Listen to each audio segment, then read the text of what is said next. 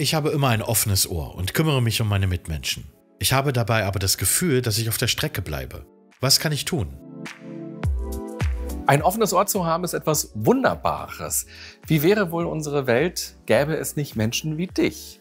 Und sicher spürst du ja auch, dass deine Art bei anderen gut ankommt.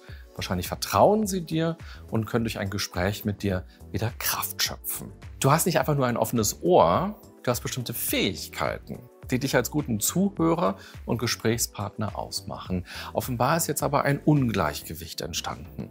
Für dich kann nun wichtig sein, nicht nur ein offenes Ohr zu haben, sondern auch einen offenen Mund.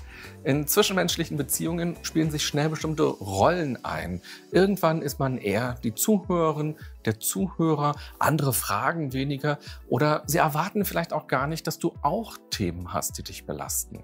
So wie das gute Zuhören eine Fähigkeit ist, ist es auch eine Fähigkeit, sich selbst zu öffnen, Dinge von sich preiszugeben, zu erzählen, was gerade nicht so gut läuft, sich den Raum für die eigenen Themen zu nehmen, auf andere zuzugehen, sie um eine Einschätzung zu bitten oder vielleicht auch um einen Tipp oder um Hilfe.